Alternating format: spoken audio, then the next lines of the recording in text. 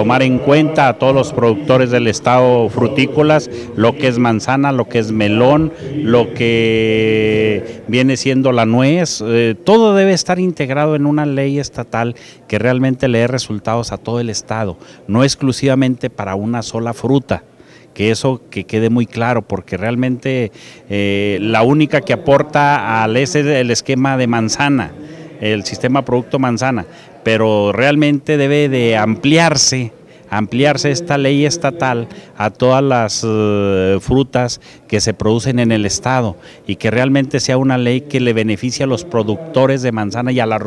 organizaciones productoras de manzana. Con ese, con ese objetivo va la, la, ley, es una ley muy completa donde están todos y eh, todos están tomados en cuenta, todos los productores, todo lo, todo lo que implica la producción frutícola en el estado y que nosotros esperemos que con esta ley a futuro pues dé resultados en beneficio de los productores.